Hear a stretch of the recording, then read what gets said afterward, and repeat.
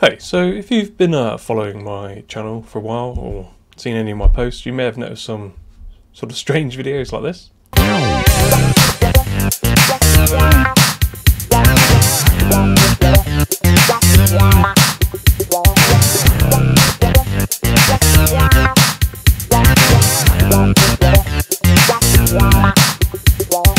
Okay, so I'm magically in Houdini, so I'm just going to go File, Import, Geometry, and hopefully you've downloaded the, the package from the Gumroad. So you should have the VFX Study Kit, the Study Kit 0.01 scale and 0.1 scale. There's some different scales in here because uh, people play with different scales and do stuff, but um, basically the VFX Study Kit is real, real world scale, not touched exactly how it was filmed, then 0.1 scale here and 0.0 scale.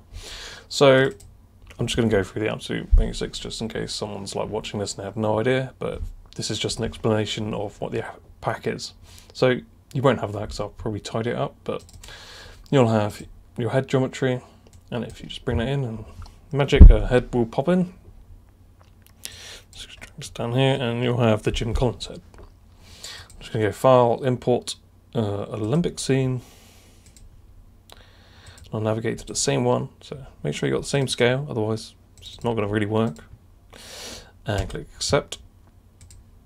So now if I look through that camera, it magically looks like it's in the same place. But how would we really know without the backplate? So I'm just going to go into the camera, double click in again, so I'm at the object level, go to the view, and that should already be ticked and go to background image. And it will all be in the first study kit because there's no point me copying it across to all of them because that scale doesn't change. Go to plate and Jim Collins and magic it fits. Pretty much I would say. Perfectly. Maybe. I don't know. Down to your choice. So now you're sort of thinking oh we've got this plate and maybe all the reference start to make sense. So now you've got that in, you essentially start going through doing your sim work. Pick a, I don't know, maybe a random one of those refs that I put up. So I'm just going to go over to here, or something I prepared earlier.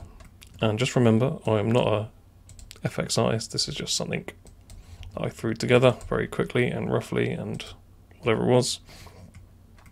So basic fluid sim setup, already cached it out, blah blah blah, do all that stuff, and then you sim over the top, and you can sort of see this might actually be quite useful for you to match with the ref. Obviously, my sim's pretty rubbish. Straight out the box, maybe change the viscosity and up the samples or the the substeps. And it just means that you have a one-to-one -one comparison to all that weird reference that I filmed before.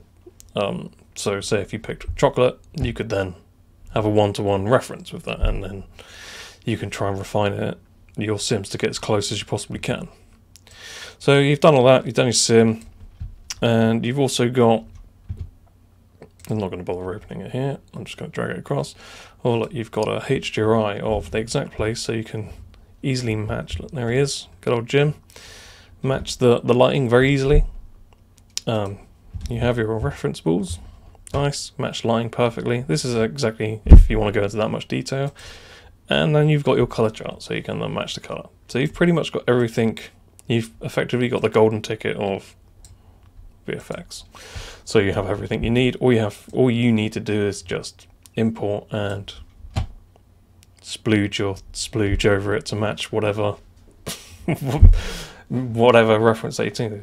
I guess is kind of more for advanced stuff where you're really like focusing on the minor details and really getting it tuned into the sim. So yeah, that was pretty much it. Was, this is not a tutorial or anything, it's just an explanation of why I was filming some mannequin getting covered in food and stuff. It wasn't a sort of a weird fetish thing, Jeffrey Dahmer thing, but um, hopefully it's useful. And I picked a mannequin head because it's not porous, smooth, so you don't have to worry about surface clumps and bit like that. So it's, it's kind of a smooth surface for good for fluids. So yeah, I'm gonna stop going on. Hope you becomes useful. Download it; it's free. Um, you get all the stuff.